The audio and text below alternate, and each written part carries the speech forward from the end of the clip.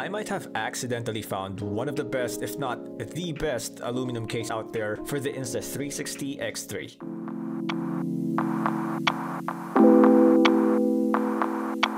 What is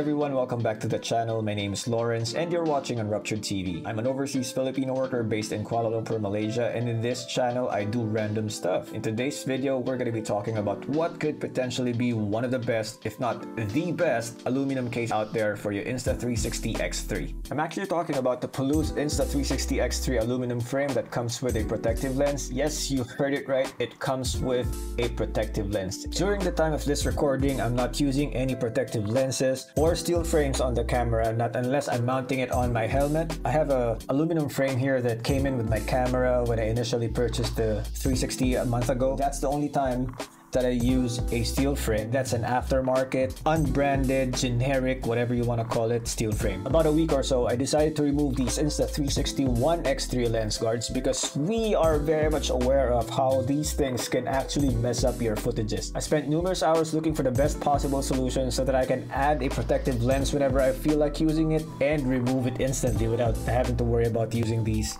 you know, sticky things. And I'm pretty sure that every single 360 user knows how important it is to protect your lenses at all times because they are very susceptible to scratches. I would also like to extend a special thank you to two of our newfound friends from the Insta360 Users PH group, Mr. Angelo Ibarrientos and John Errol Francisco for allowing us to use a part of their clips in this video. Let me just also remind you that I'm not being paid to do this video, so basically what you're gonna hear from me are all my honest and unbiased opinions, and I'll be giving you the pros and cons together with my recommendations by the end of this video. So this is how my Insta360 X3 looks like right now without any aluminum frames, no lens guards, but I left the screen protector on it. The PULUZ Insta360 X3 aluminum case comes in a fabric carrying case together with your warranty card, your aluminum frame, removable front and rear lens guards, a cleaning fabric, Allen key, and an optional two-headed mount should you decide to pair this with your old action camera mount.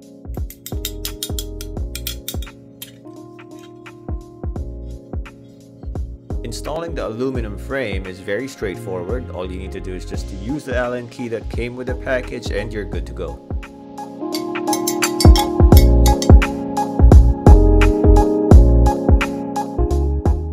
Once you're done installing the frame, the next thing that you would have to do is to install the removable lenses. And this is the reason why I'm showing you these grooves or threads because that's where these lenses go.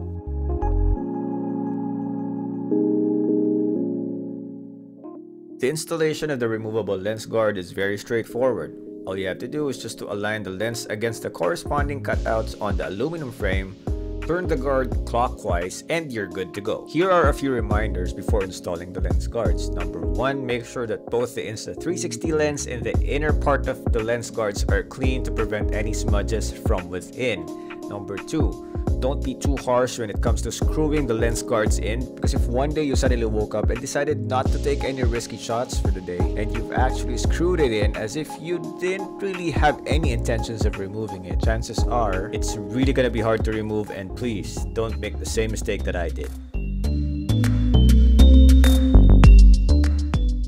Now that we have successfully installed the aluminum frame and the front and rear protective lenses on the Insta360 X3, we can now move on to our indoor video test. I have the camera on automatic mode, I'm shooting at 5K 30fps on vivid profile, and I am surprised. It's not perfect, but you can't even tell where the stitch line is.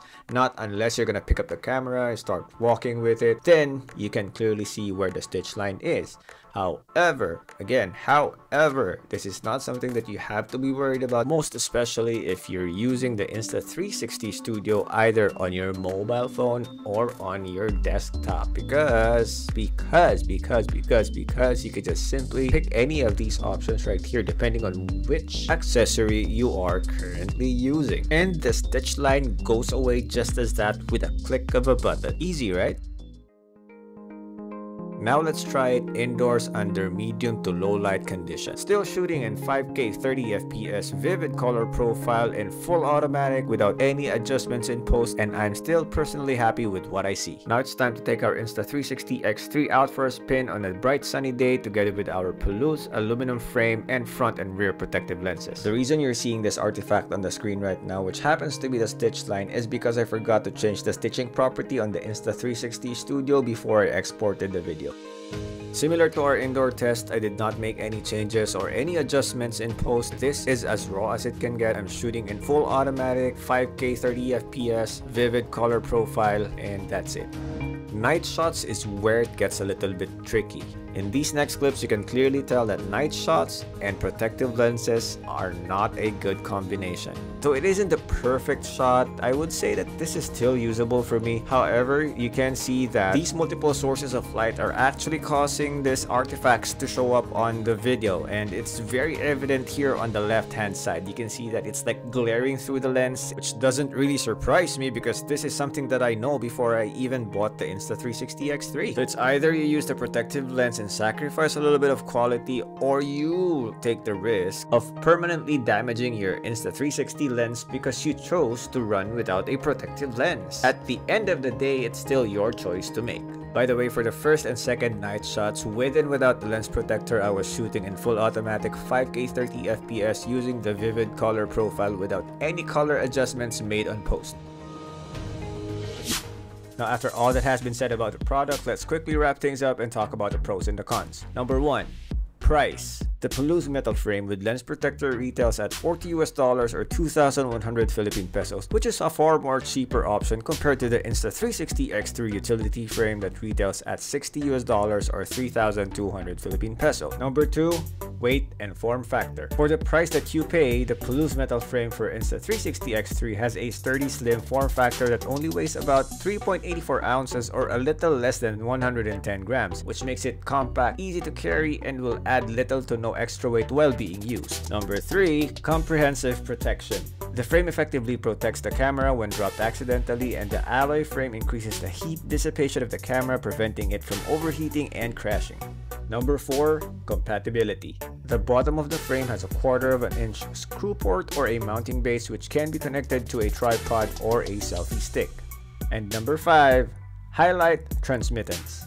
With the lens protector on, it can effectively prevent the camera lens from being scratched and the lens also has highlight transmittance which does not affect the quality of the videos in bright shooting conditions. Now let's move on to the cons. Number 1. No rubber lens cap. Though the PULUZ metal frame comes with a removable lens protector, it does not come with a rubber lens cap not unlike the original Insta360 X3 utility frame or the Imagine Metal Rabbit cage. Number 2.